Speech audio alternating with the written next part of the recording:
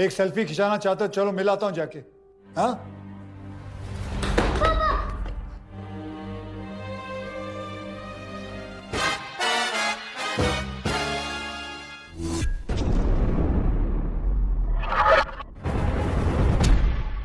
Hello Gelapers, welcome back to my channel Trending Gelo. Kali ini kita akan rangkum alur film India berbahasa Hindi dengan judul Selfie.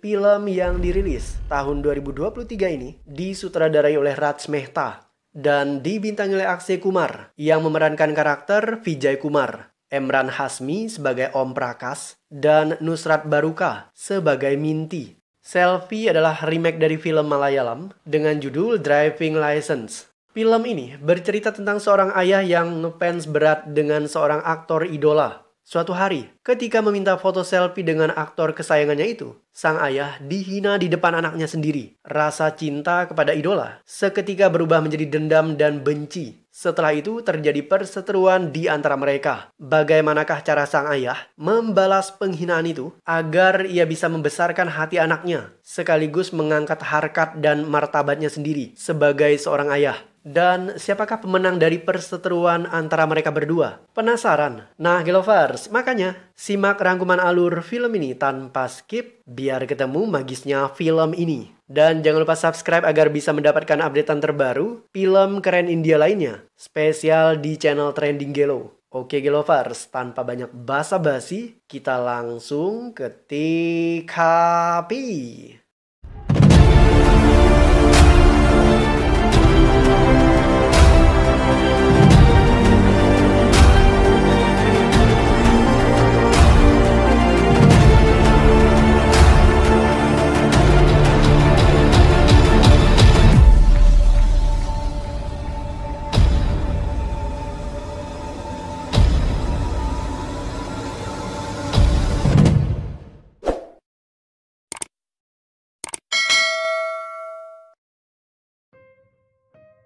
Polisi Om Prakas ngefans berat dengan aktor Bollywood bernama Vijay Kumar. Ia mengidolakannya seperti memuja seorang dewa. Suatu hari, Vijay Kumar syuting di wilayah Bhopal, tempat kediaman Prakas. Kedatangan Vijay disambut meriah oleh seluruh penggemarnya, termasuk Prakas. Sebelum Vijay Kumar datang, Prakas dan para fansnya sudah mempersiapkan spanduk dan atribut Vijay Kumar. Prakas bahkan membawa anaknya Gabu untuk menari dan bernyanyi, merayakan kegembiraan menyambut Pijay.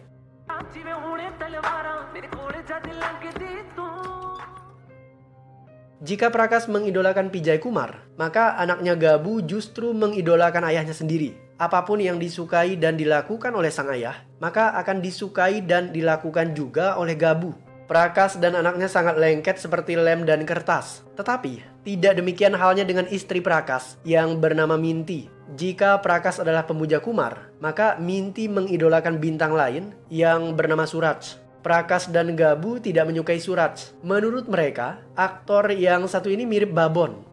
Mayat ka hone wala. Tum script writer selikwate ho ya Suraj adalah aktor seangkatan Vijay Kumar. Mereka bahkan berteman baik sebelum menjadi orang terkenal. Namun sayang, popularitas Suraj menurun selama tujuh tahun terakhir. Orang-orang lebih menyukai pesona Vijay Kumar. Hal itu membuat Suraj iri kepadanya. Ia bertekad untuk menjatuhkan karir Vijay. Surat kemudian memanggil seorang peramal kartu tarot untuk meramal masa depannya dan kejatuhan Vijay. Menurut sang peramal, Vijay Kumar akan hancur karirnya, sementara Suraj akan melesat menjadi yang terdepan di perfilman Bollywood. Suraj senang mendengar ramalan itu.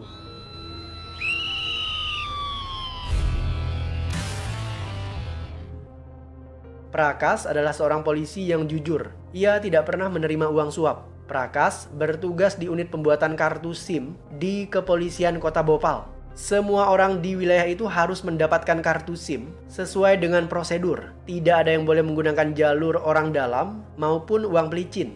Prakas akan menguji kemampuan pengemudi satu persatu dan tidak ada yang bisa melanggar aturannya. Suatu hari, Gabu berteriak kegirangan sepulang dari sekolah. Ia membawa koran yang berisi tentang Pijay. Aktor Bollywood yang satu ini akan mendatangi kota Bhopal untuk syuting film. Prakas dan anaknya Gabu begitu gembira menyambut kedatangan Pijay.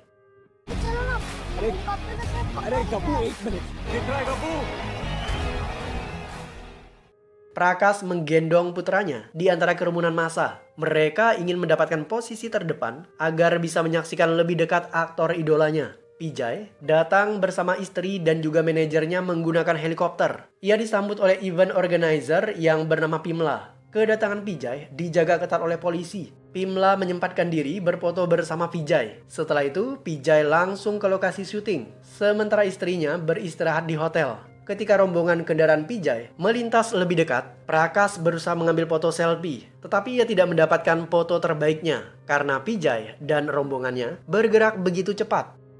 Alright, roll sound and action. love you. I love you.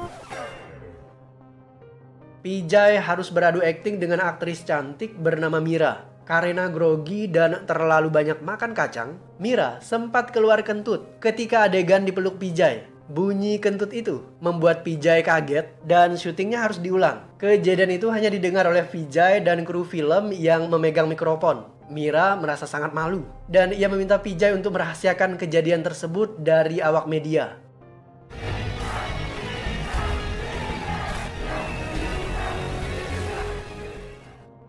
Malam harinya, Pijay berdoa dengan istrinya di kamar hotel. Mereka sedang video call dengan dokter kandungan. Ternyata, Pijay dan istrinya sudah menikah selama lima tahun dan mereka belum dikaruniai anak. Saat ini, istri Vijay sedang hamil berkat program bayi tabung. Mereka merahasiakan kehamilan ini dari pihak media.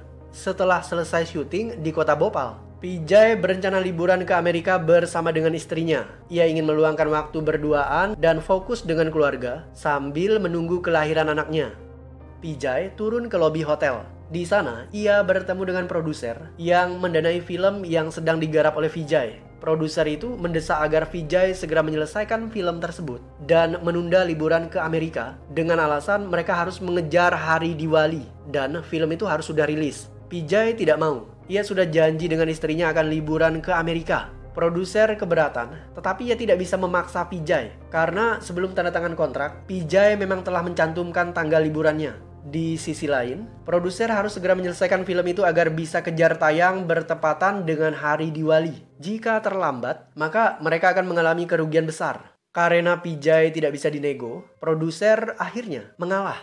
Mereka akan kembali syuting setelah Pijay pulang dari liburan. Sambil menunggu kepulangan Pijay, produser ingin membereskan hal teknis. Syuting itu akan dilaksanakan di kompleks militer dan salah satu adegannya adalah Vijay harus mengendarai mobil. Produser meminta surat izin mengemudi atau SIM Pijay agar bisa mendapatkan izin syuting di kompleks militer tersebut. Namun sayang, SIM Pijay hilang dan arsip dokumennya juga ludas dalam sebuah insiden kebakaran di kantor polisi. Pijay harus secepatnya membuat SIM baru sebelum ia berangkat ke Amerika. Agar urusan SIM Vijay bisa dikejar secara ekspres, manajer Vijay menghubungi Vimla. Keesokan harinya, Pimla datang ke kantor polisi. Ia bertemu dengan Prakas untuk membuat SIM atas nama Vijay. Prakas kaget setelah mengetahui jika Vijay idolanya akan membuat SIM ke kantor polisi Bhopal dan itu artinya Prakas akan bertemu langsung dengan idolanya itu karena Prakas adalah polisi yang menangani khusus pembuatan SIM. Prakas kemudian bercerita kepada Pimla bahwa dirinya adalah fans berat Vijay. Ia bahkan punya nomor HP Vijay dan setiap kali Vijay rilis film terbarunya, maka Prakas akan memberikan ucapan selamat dan pesan-pesan positif lainnya. Pesan itu selalu dibalas oleh Vijay. Meskipun demikian, Prakas tidak pernah menghubungi Vijay karena ia tidak ingin mengganggu kesibukannya. Pak polisi, Vijay tidak akan datang ke sini. Dia hanya minta dibuatkan SIM A dan aku yang mengurus semuanya. Karena itulah, aku butuh bantuan Bapak. Ucapan Pimla membuat Prakas bingung dan juga sedih. Prakas sedih karena ia tidak akan bertemu dengan Pijay. Selain itu, Prakas juga bingung karena selama ini ia tidak pernah melanggar prosedur pembuatan SIM secara instan seperti yang diminta oleh Pimla. Melihat raut wajah Prakas yang berubah drastis, kepala polisi kemudian mendesak Prakas agar mempermudah proses pembuatan SIM untuk Pijay. Akhirnya, Prakas mengalah demi idolanya itu. Ia akan membuatkan SIM untuk Pijay secara instan dengan syarat Pijay harus datang ke kantor polisi untuk mengambil SIM itu dan berfoto selfie dengan Prakas. Malam harinya, Pimla mendatangi Pijay dan menyampaikan syarat yang diajukan oleh Prakas. Pimla juga memberitahu Pijay bahwa Prakas adalah fans berat Pijay. Ia sering mengirimi pesan SMS setiap kali Pijay rilis film baru. Pijay memeriksa ponselnya dan ia menemukan pesan-pesan yang memang dikirim oleh Prakas. Setelah membaca pesan yang sangat positif dari fansnya itu, Pijay tidak keberatan datang ke kantor polisi, bertemu dengan Prakas, mengambil SIM dan berfoto selfie dengannya. Hanya saja, Pijay tidak bisa berlama-lama di kantor polisi. Ia hanya bisa meluangkan waktu 5 menit saja. Setelah itu, Pijay harus buru-buru pergi. Setelah Pijay setuju dengan skenario dan persyaratan yang diminta, Pimla segera menghubungi Prakas. Pijay siap datang ke kantor polisi untuk mengambil SIM-nya dan berfoto selfie dengan Prakas. Mereka akan bertemu pukul 7 pagi di kantor itu. Berita tentang selfie dengan idolanya segera disampaikan Prakas kepada anaknya. Mereka berdua tampak sangat gembira. Keesokan harinya, Prakas menyiapkan segala sesuatu. Ia menghiasi kantor polisi seindah mungkin. Anaknya Gabu hari itu bahkan izin tidak masuk sekolah demi berselfie dengan Pijay. Tidak hanya itu, seorang ofisir polisi juga ikut-ikutan pengen selfie dan ia ingin membuat para followersnya terkesan. Kebetulan, polisi yang satu ini punya 50.000 followers di Twitter. Prakas tidak keberatan asalkan Pijay juga mau selfie dengan polisi tersebut. Seketika, media berdatangan dan mereka menayangkan secara live kehadiran Vijay dengan maksud untuk membuat SIM di kantor polisi Bhopal. Berita itu menjadi heboh dan viral karena sebelumnya Pijay adalah public figure yang mengkampanyekan gerakan keamanan berkendara sementara ia sendiri tidak punya SIM. Pijay berangkat ke kantor polisi bersama manajer dan juga Pimla. Di tengah perjalanan, Pijay dihubungi oleh dokter kandungan. Dokter ini mengatakan jika ada kelainan di dalam kandungan istri Pijay. Menurutnya, bayi yang dikandung oleh Naina akan lahir secara prematur. Pijay mulai panik ia ingin secepatnya menyelesaikan urusan di kantor polisi dan setelah itu segera membawa istrinya Naina menemui dokter. Setibanya di kantor polisi, Pijay kaget melihat kerumunan wartawan yang menyambut kehadirannya. Ia tidak tahu siapa yang telah menghubungi awak media. Ketika keluar dari mobil, Pijay diberondongi oleh berbagai pertanyaan. Di antaranya, Pak, sudah berapa lama Anda mengemudi tanpa punya SIM? Pijay diam tidak menjawab. Ia heran bagaimana bisa wartawan mengetahui jika dirinya tidak punya SIM. Menurut Pimla, hanya polisi Prakas yang tahu masalah tersebut. Kemungkinan dia adalah orang yang telah menghubungi media. Pijay masuk ke dalam kantor. Di sana, Prakas dan anaknya sudah menunggu untuk berfoto selfie. Mereka tampak berharap, tetapi Pijay justru berkata, "Siapa yang namanya Om Prakas Agarwal?" Prakas angkat tangan. "Kenapa kau melakukan semua ini?" Apakah kau ingin populer dan mendapatkan banyak uang dengan membocorkan berita di TV? Prakas diam tidak menjawab. Ia tidak melakukan itu. Pijay kemudian lanjut berkata, Aku membaca pesan SMS-mu dan aku kira kau adalah pria yang baik. Itu sebabnya aku mau selfie denganmu. Inikah balasan yang kudapatkan? Penghinaan di depan media. Kau bukan seorang fans. Kau adalah oportunis yang hanya ingin memanfaatkan aku. Setelah berkata demikian, Pijay mengambil hadiah yang dipegang oleh Prakas dan ia membuang hadiah itu di depan Gabu dengan berkata, Jangan jadi seorang oportunis seperti ayahmu yang menjual semua orang demi keuntungan pribadi. Rencana selfie Prakas gagal total. Ia justru menangis setelah dipermalukan Pijay di depan anaknya sendiri. Pijay keluar dari kantor polisi. Ia masuk ke dalam mobil dan bersiap-siap untuk pergi dari tempat itu. Tetapi Prakas menghentikannya Prakas justru melarang Pijay mengemudikan mobil karena ia tidak punya SIM. Tidak hanya itu, Pijay juga dituntut untuk membayar denda secara online karena ia sempat mengemudikan mobil ketika mereka menuju ke kantor polisi. Pijay menuruti semua yang disampaikan oleh Prakas. Ia kemudian meminta manajernya untuk mengendarai mobil menggantikan dirinya. मैं पूछता हूँ किसने इनको हक दिया लेकिन व्यूअर्स ये आदमी बिना driving licence jurnalis TV berapi-api memberitakan tentang kebobrokan Pijay yang tidak punya SIM tetapi bebas mengendarai mobil. Jurnalis ini juga menyorot bahwa Vijay ingin mendapatkan SIM dengan cara yang instan tanpa harus repot-repot melakukan prosedur seperti warga biasa lainnya. Om Prakas membalas penghinaan Pijay terhadap dirinya. Ia dipermalukan di hadapan anaknya sendiri. Prakas mengatakan bahwa ia tidak terima saat Pijay datang ke kantor polisi dan ingin mendapatkan SIM secara instan. Jika ingin mendapatkan SIM, Pijay harus antri seperti warga biasa dan lulus tes mengemudi. Tidak ada perlakuan khusus untuknya, sekalipun ia seorang selebritis. Ucap Prakas kepada awak media. Pijay murka mendengar berita yang menjatuhkan dirinya hanya karena SIM. Ia harus segera membereskan kasus itu. Karena dua hari lagi, Pijay dan istrinya harus berangkat ke Amerika. Sementara Prakas, ia mendapatkan banyak pujian dari tetangganya. Prakas dianggap sebagai pahlawan pemberani yang bisa menegakkan integritas polisi dan menjadi contoh teladan bagi warga India.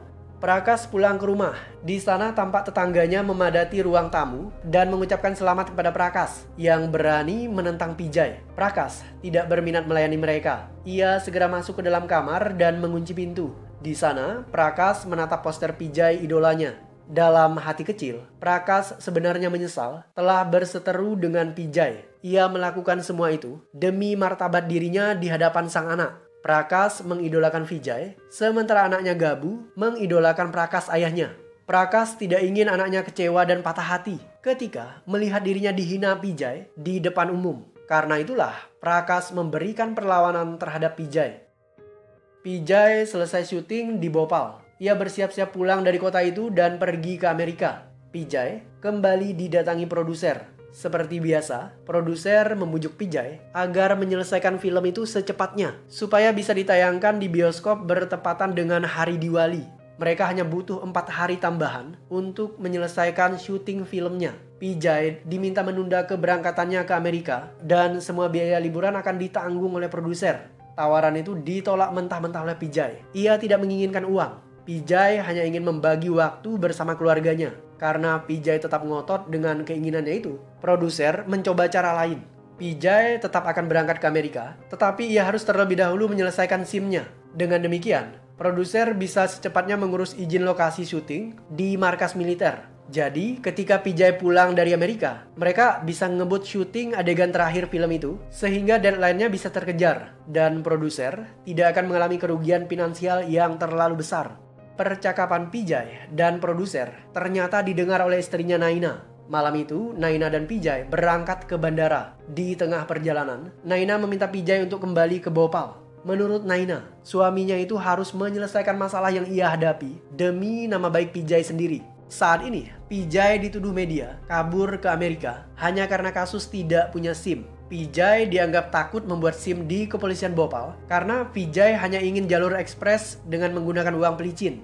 Naina ingin suaminya itu menyelesaikan semua kasus ini dan membersihkan nama baik dirinya supaya Pijay bisa membuktikan bahwa ia benar-benar pemuda yang taat aturan negara. Ucapan Naina membuat Pijay sadar ia memang harus membuat SIM di kota Bhopal dan menerima tantangan Prakas. Kemudian membuktikan bahwa ia adalah warga yang taat aturan. Malam itu, Naina berangkat ke Amerika sendirian, sementara Vijay, ia harus membuat SIM di kepolisian Bhopal dan akan ditangani langsung oleh Prakas. Ternyata, keberangkatan Naina ke Amerika bukan untuk liburan, melainkan ia ingin bertemu dengan dokter dan harus operasi sesar karena bayi Naina prematur. Dan rencananya, setelah urusan pembuatan SIM selesai, maka Vijay akan menyusul Naina ke Amerika Sementara Prakas, ia curhat kepada istrinya Minti. Prakas menyesal telah bertindak sejauh ini hanya untuk mengalahkan idolanya Vijay. Ia sebenarnya siap memberikan SIM itu kepada Vijay tanpa harus menjalankan semua tes dan juga uji coba. Niat baik Prakas terhenti saat rumahnya diserang oleh beberapa pemuda.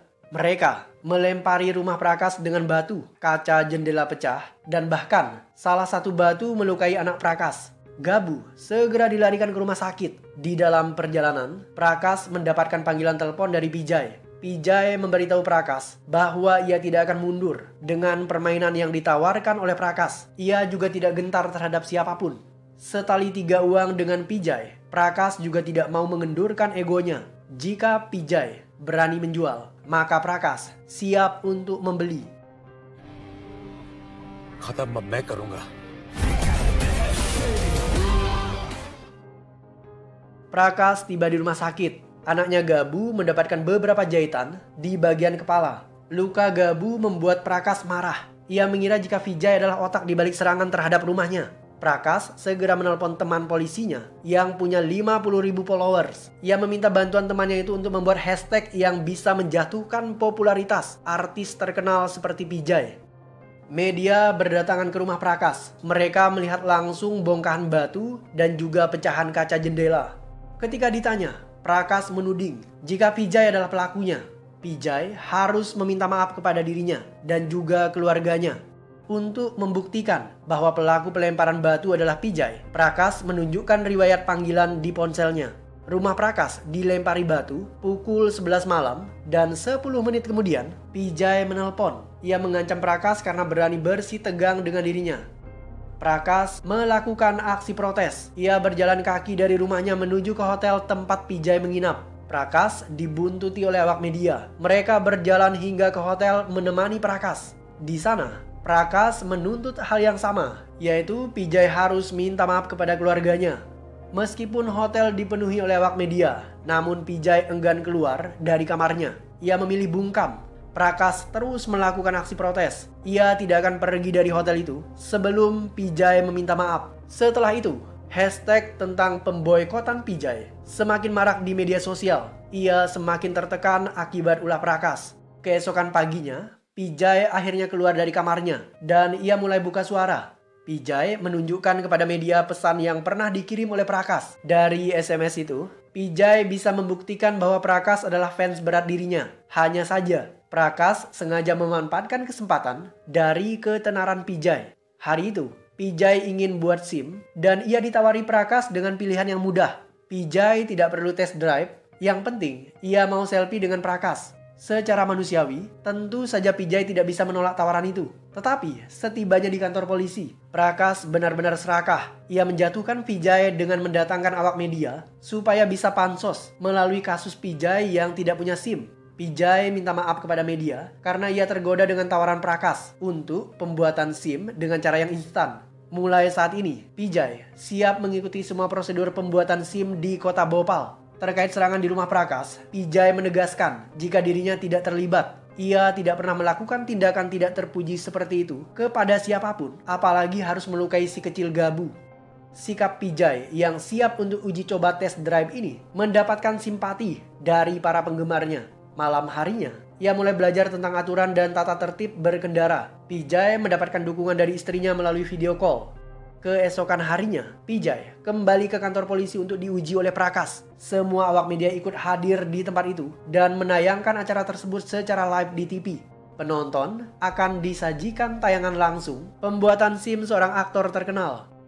मैं आपसे दस सवाल पूछूंगा मेरे लिए road cross करता हुआ आपको दिखाई दे Ujian pertama Pijay adalah ujian terkait dengan intelektual ia harus bisa menjawab 6 dari 10 pertanyaan yang akan dilontarkan oleh Prakas terkait tata tertib di jalan raya. Pijay gagal menjawab pertanyaan pertama dan juga kedua. Itu artinya ia hanya punya 8 pertanyaan tersisa dan harus menjawab 6 dengan benar.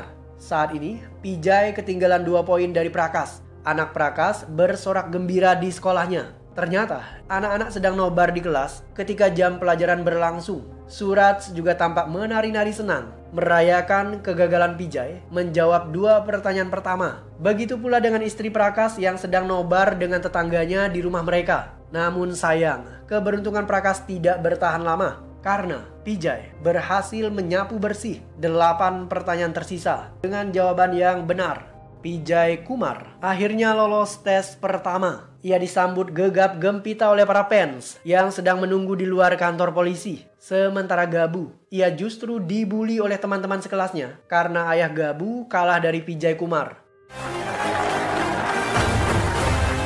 Congrats, sir. Kya kamal jawab diye aapne. Surat sedang melakukan dubbing untuk sebuah iklan. Di sana juga ada Mira, aktris yang kentut saat adegan syuting dengan Pijay. Ketika dubbing, Surat ditelepon oleh anak buahnya. Tanpa Surat sadari, percakapan itu didengar oleh operator dan juga Mira yang berada di luar studio. Isi percakapan itu menjelaskan jika Surat adalah orang yang melakukan penyerangan terhadap rumah Prakas. Surat sengaja melakukan itu agar memperburuk suasana dan membuat Pijay menjadi tersangka utama. Pijay mendapatkan panggilan telepon dari istrinya.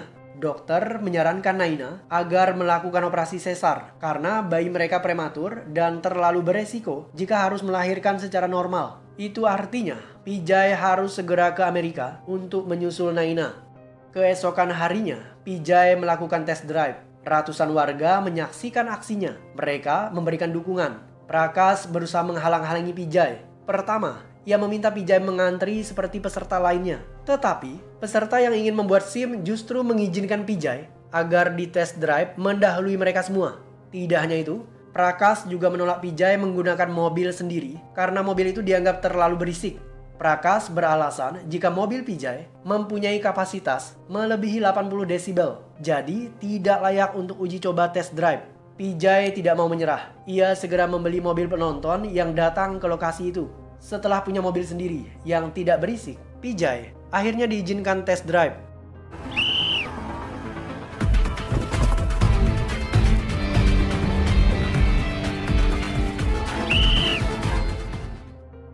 Pijay menyelesaikan test drive-nya dengan sangat baik. Penonton bertepuk tangan gemuruh. Ketika tes berlangsung, sebenarnya Prakas berulang kali ingin mencari kesalahan Pijay, tetapi Pijay berhasil menjawab Prakas dengan memberikan alasan-alasan yang masuk akal, sehingga sulit bagi Prakas untuk mencari celah dan menjatuhkan Pijay. Pijay akan melakukan tes drive terakhir, yaitu tes mengemudi di jalan raya. Saat ini, waktu menunjukkan pukul 1.30 siang hari.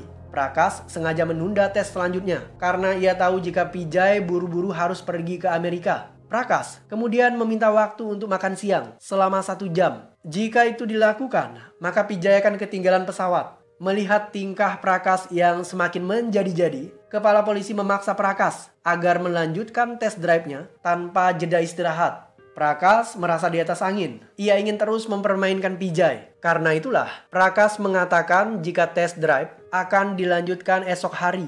Tindakan Prakas membuat para penonton geram. Mereka tidak bisa mengontrol diri untuk menyerang Prakas. Beruntung di sana masih ada beberapa polisi yang mengamankan suasana. Pijay menyadari jika Prakas dengan sengaja ingin mempermainkan dirinya. Pijay kemudian menghampiri Prakas dan mengoyak formulir pendaftaran kartu SIM-nya.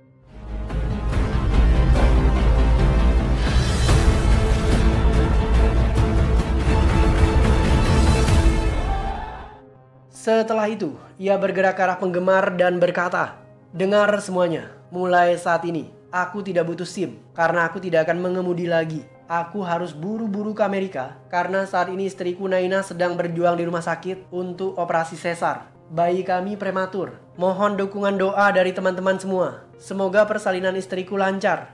Pijay kemudian menoleh ke arah Prakas dan berkata, Selamat Prakas, kamu menang. Karena akhirnya aku gagal mendapatkan SIM. Aku lebih memilih mengutamakan menggendong bayiku yang akan segera lahir ketimbang harus mengejar SIM ini.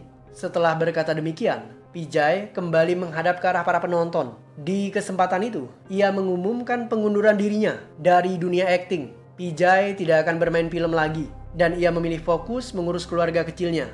Ucapan Pijay membuat Prakas terdiam. Ia merasa bersalah. Prakas tidak menyangka dampaknya akan sepatal ini. Ia juga baru tahu tujuan Vijay ke Amerika. Selama ini ia berpikir jika Pijay ke Amerika hanya untuk liburan. Ternyata semuanya di luar dugaan. Setelah berkata kepada para penggemarnya, Pijay meninggalkan tempat itu. Di saat itulah para pendukung Pijay murka. Mereka menerobos barikade polisi dan mulai menghajar Prakas. Tetapi sejurus kemudian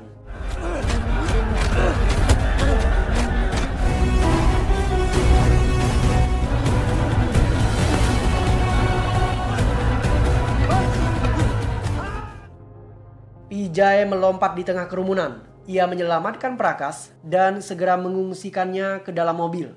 Pijay meminta maaf kepada Prakas karena kata-katanya itu membuat para penggemarnya marah dan menghajar Prakas. Prakas sendiri sadar jika dirinya memang layak untuk dihajar karena sikapnya yang sudah keterlaluan. Tidak lama berselang, Minti menelpon suaminya. Prakas meminta Minti agar menunggu jemputan di depan rumahnya karena mereka harus pergi dari tempat itu untuk mengungsi sementara waktu hingga suasana aman. Setelah menelpon istrinya, Prakas kemudian menjelaskan alasan kenapa ia melakukan semua ini. Prakas mendewakan Pijay sebagai idolanya, sementara Gabu anaknya, ia mengidolakan ayahnya sendiri. Bagi Gabu, Prakas ayahnya adalah seorang pahlawan dan pahlawan itu kemudian dipermalukan Pijay di hadapan anaknya sendiri. Hal inilah yang menghancurkan harkat dan martabat seorang ayah. Prakas tidak mau itu terjadi dan ia harus bangkit melawan Pijay dengan cara apa pun agar ia bisa memberikan teladan kebanggaan dan juga kepahlawanan bagi anaknya Gabu. Prakas ingin mengembalikan harkat dan martabat dirinya dengan menentang Pijay. Sadar akan alasan yang diungkapkan oleh Prakas, Pijay akhirnya mengerti kenapa Prakas melakukan semua itu. Pijay juga mengaku bahwa dirinya bukanlah orang yang melempari rumah Prakas menggunakan batu dan melukai anaknya. Di kesempatan itu, mereka berdua kemudian saling bermaaf-maafan. Prakas kemudian memohon kepada Pijay agar jangan mengundurkan diri dari dunia akting karena kehadiran Pijay sangat berarti bagi Prakas dan para fans lainnya. Pijay akhirnya batal mundur dari dunia perfilman. Setelah itu, mereka berdua singgah di depan rumah Prakas. Minti dan Gabu sudah menunggu. Mereka kemudian masuk ke dalam mobil dan terkejut ketika mengetahui jika mobil itu milik Pijay. Pijay membawa Prakas dan keluarganya ke stasiun kereta api.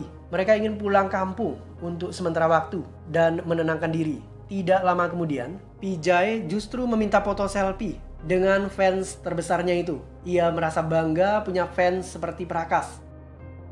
Setelah itu, Pijay mendapatkan panggilan telepon. Ia buru-buru ke TKP. Di sana, Pijay bertemu dengan Suraj. Pria ini ditahan polisi karena Suraj adalah otak di balik penyerangan terhadap rumah Prakas. Pijay memaksa Suraj untuk meminta maaf kepada keluarga Prakas. Setelah tahu jika Suraj pelakunya, Minti batal mengidolakan Suraj. Tidak hanya Suraj, pelaku lain juga ketahuan. Dia adalah Pimla. Ternyata, setelah dipaksa oleh Pijay, Pimla mengaku jika dia adalah orang yang telah menghubungi media supaya datang ke kantor polisi di saat Pijay ingin mengambil kartu SIM-nya supaya ia terkenal dan bisa menang dalam pemilu mendatang karena Pimla berniat terjun ke dunia politik. Sebelum Pijay berangkat ke bandara dan Prakas berangkat ke stasiun kereta api, Prakas memberikan hadiah yang pernah dibuang oleh Pijay ketika ia berada di kantor polisi. Hadiah itu ternyata kartu SIM milik Pijay. Pijay akhirnya bisa menyetir lagi. Setelah itu, mereka berdua berpelukan dan menjadi teman. Dan film pun berakhir.